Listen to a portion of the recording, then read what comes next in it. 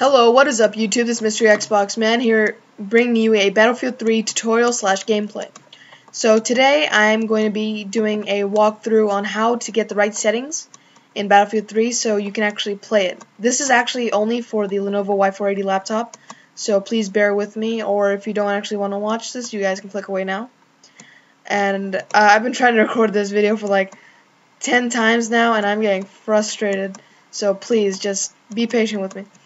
And um, so basically, um, one of my subscribers, I believe Ksang33 or 36, I'm not sure, he wanted me to do a walkthrough or tutorial because he has the same laptop as me, Lenovo Y480, and he could not access Battlefield 3 because something was wrong. He could not play multiplayer. Um, he could only play for a few minutes, to be exact, and I just died there. And because his game kept crashing, I believe it's probably because the graphic settings were not right or the resolution was off, or he had vertical sync on, or something like that. So, I'm going to go into the options menu now as soon as I spawn. I'm going to go into the options menu and show you guys what are the right settings to to use to play uh, Battlefield 3 on the Lenovo Y480. So basically what you want to do is go to video um, where, where you can adjust the options and things like that. So you want to set the graphics quality auto. When you usually set it to custom settings, some of them are not going to be the right settings that you want want them. And it's going to start lagging and things like that. When you have auto, you get pretty good settings off here. You get high, medium, and things like that. So that's pretty good.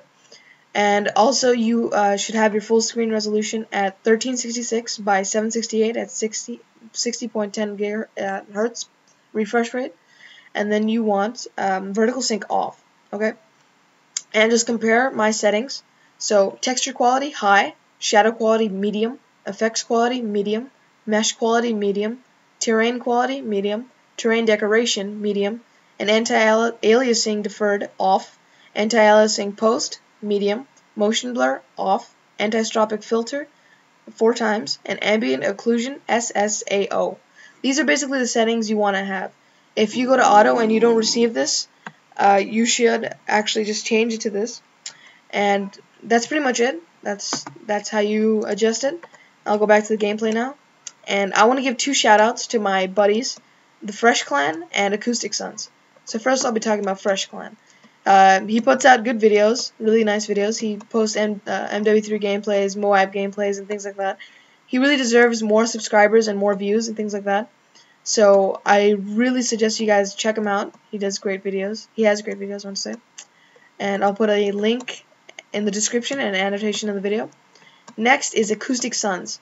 Now, me and him I have been friends for a while now, and uh, he started this YouTube um, clan, basically, uh, slash Xbox, called Sins, and we um, we basically put uh, he does the editing, he does the recording, things like that. So basically, we just do Halo Reach game nights, Skyrim gameplays, and things like that. And he we put out he puts out great videos, so really check it out. And he really deserves more views, as I said for PhreshKlan also. They both deserve good a lot of views and more subscribers, obviously. So I really suggest you guys check them out. They great videos, great videos. And um, sorry I might stutter a little bit.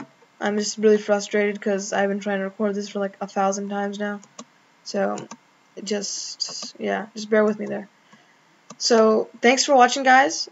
Please rate, comment, and subscribe. And I'll see you guys later. Peace.